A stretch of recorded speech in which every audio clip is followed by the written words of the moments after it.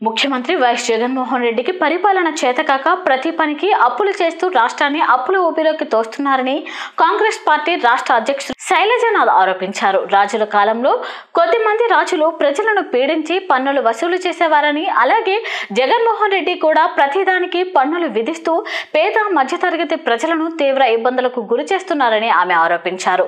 పట్టణ ప్రాంతాల్లో గృహాలకు పన్ను రేట్లు పెంచడంతో పాటు గ్రామీణ ప్రాంతాల్లో సైతం ఇంటి పన్ను వసూలు చేయడాన్ని ప్రశ్నించారు.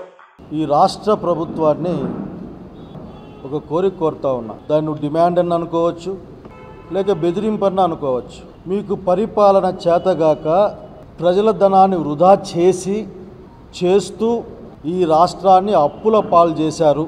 మీకు సందేహం లేదు ఎవరికీ సందేహం లేదు. కనీస అవసరాల కోసం అప్పుడెప్పుడో వినేవాళ్ళం. రాజు రాజభటుల చేత ప్రజల్ని పీడించేవాడు వాళ్ళ ఇల్లు కొల్లగొట్టేవాడు లేక వాళ్ళని హింసించేవాడిని అప్పుడప్పుడు చదువుకుంటూ ఉండేవాళ్ళం కథల పుస్తకాల్లో. మిమ్మల్ని చూసినాక అవి నిజమేమో అనిపిస్తూ ఉంది. మీరు దేన్ని వదలడం లేదు. ఎక్కడెక్కడ డబ్బులు వసూలు చేయగలరో భయపడించి అన్ని చోట్ల వసూలు చేసే ప్రయత్నం. దీన్ని ప్రజల పక్షాన కాంగ్రెస్ పార్టీ ఖండిస్తూ ఉంది జగన్మోహన్ రెడ్డి గారు. చంద్రబాబు గారే అనుకున్నాం. వారిని మించిన చివరికి